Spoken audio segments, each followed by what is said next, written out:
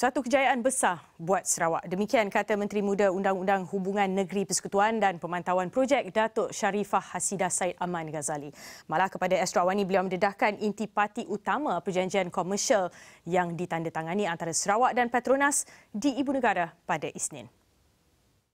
Di asasnya ada lima perkara yang besar tu, yang detail-detail semua adalah ada termasuk dalam perjanjian yang ditandatangani. Ha, tapi asasnya lima perkara ini. Yang penting adalah kita ada hak untuk melombong minyak sepenuhnya di daratan.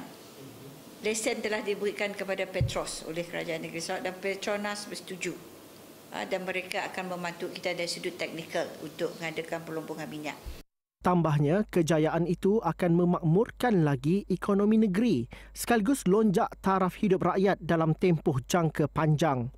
Semalam perjanjian penyelesaian komersial dimeterai antara Petronas dan Kerajaan Sarawak di Kuala Lumpur.